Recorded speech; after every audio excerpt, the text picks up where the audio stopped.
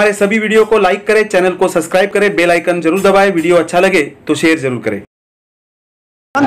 Mission द्वारा हर साल की भांति इस साल भी लगभग यहाँ पर जो है 73 जोड़े जो है पूरे भारत क्षेत्र से यहाँ पर आए हैं और एक जोड़ा जो है इसमें ऐसा भी है जो एब्रॉड से यहाँ पर सादा शादियों में सम्मिलित हो रहे हैं। सादा शा, शादियों में सम्मिलित होने का इनका क्या कारण है? किस प्रकार से ये जोड़े यहाँ पर सादा शादियों में बन रहे हैं? इसकी क्या गतिविधियाँ हैं और किस प्रकार से ये सादा शादियाँ हो रही है? इसका पूरा ब्यौरा जो है आज हम यहाँ पर जानेंगे और यहाँ के जोड़ियों से भी बात करेंगे कि उनका क्या कहना है क्या फील कर रहे हैं किस प्रकार से उनको यहाँ पर शादियों में विवाह बंधन में बनते हुए किस प्रकार से उनका मन जो है, अपनी भावनाएँ व्यक्त कर रहा है, उन्हीं से जानेंगे। नमस्कार, आज हम यहाँ पर नासिक के मैदानों में उपस्थित हैं और यहाँ पर आप देख रहे हैं कि सामूहिक विवाह यहाँ पर संपन्न होने जा रहा है। कुल लगभग पचहत्तर जोड़ियाँ हैं। इसमें से एक ऐसी जोड़ी यहाँ पर हम देख रहे हैं, बैठी है, जो संत निरंकारी मिशन में सेवादार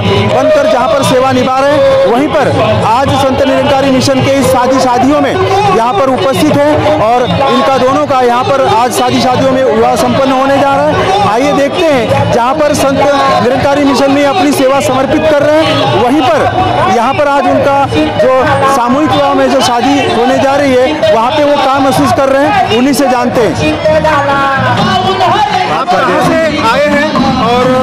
आज यहाँ पर सादा शादियों में आपकी शादी हो रही क्या महसूस कर रहे हैं? आज माझे धन्य रंगारी मी बोईसरवरून आलेला आहे आणि माझं नाव खगेश प्रभू आहे संत महापुरुषांचा आशीर्वाद आणि सुदीक्षा माताजींचा आशीर्वाद हेच धन्य रंगारी आपकी सादा शादी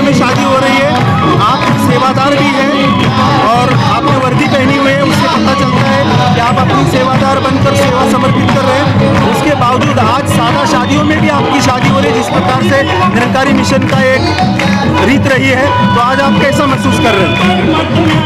प्रेमाने बोला दान निरंकारी फार आनंद होत आहे की दा दासीची स्वयं सद्गुरूच्या सानिध्यात ही शा सादगी से शादी होत आहे आणि जो दासीला ब्रह्मज्ञान मिळालेला आहे तो स जनाजनात मिळाला पाहिजे. प्रेमाने बोला क्या मांगेंगे आज सदगुरु से आप।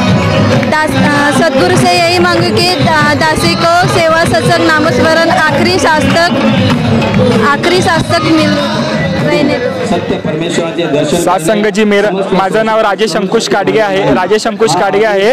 आणि इथे सामूहिक विवाहामध्ये माझं लग्न होत आहे माताजींच्या समोर होत आहे तर खूप आनंद महसूस होत आहे. खूप मस्त छान वाटते संघजी प्रेमाने बोला धन निरंकारजी सत्संगजी माझं नाव आहे ज्योती कृष्ण शेट्टे.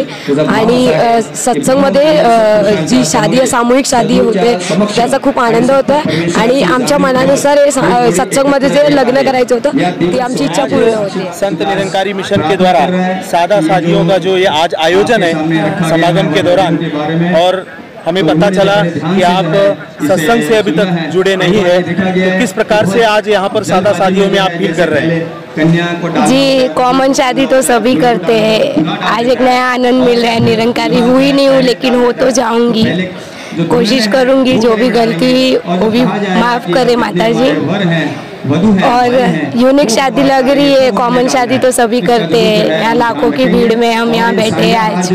बहुत अलग महसूस हो रहा है। वो लेकर के महात्मा निरंकारी मिशन से जो जुड़े हुए हैं हाँ।